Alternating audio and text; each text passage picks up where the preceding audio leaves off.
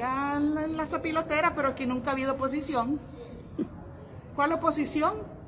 Si todos han sido, si todos estaban amalgamados, amarrados, han hecho pacto tras pacto, ya sean económicos, políticos, lo han hecho. Ahora que no me vengan con el cuento de que no se acuerdan. Gracias a Dios que ustedes tienen los videos, las fotos y todo.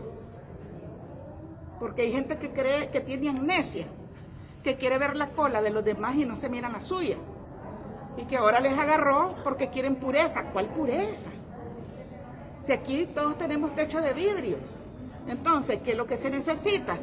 Que la sociedad nicaragüense empiece a presionar porque se han erigido en los representantes de los nicaragüenses, yo por lo menos yo no los he electo, para que me representen y sigan jodiendo a este pueblo, dándole desesperanza, cuando este pueblo lo que necesita es esperanza.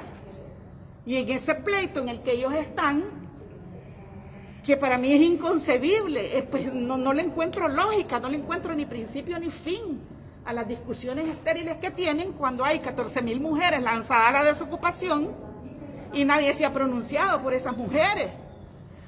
Cuando hay, hay un alto número de mujeres muertas por femicidio, ¿y dónde está la oposición diciendo esta boca es mía? Entonces aquí no hay oposición.